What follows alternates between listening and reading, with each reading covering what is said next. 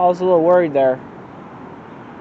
So I went off behind me. I went back there, back back there. I went back there on this trail, and I was thinking that that this was the Sugarloaf, but that trail back there led to an even larger rock. Which I'm not sure. Maybe last time, maybe last time I went just to this one. I don't know. But the other one was definitely a lot bigger and there was there were people up there climbing that I took a photo of. Oh, the wind feels nice.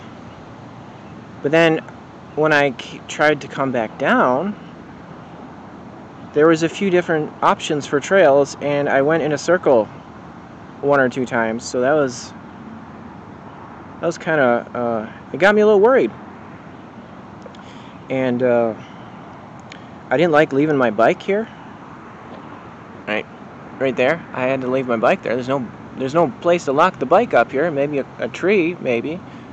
But I didn't like leaving the bike. I thought I was just gonna go like a little a little uh, I didn't think, I wasn't expecting to go as far as I went on that trail back there, but I went quite a ways.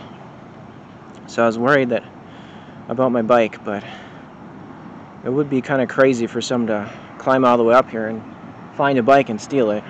But I'm glad that it's still here.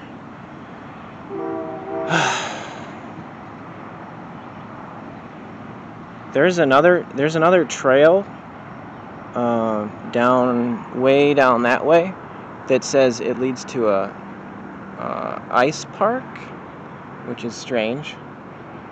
I might check that out, but it is it's like 12 already. Maybe I shouldn't. I should get home and eat bananas and water. So so maybe this will be it.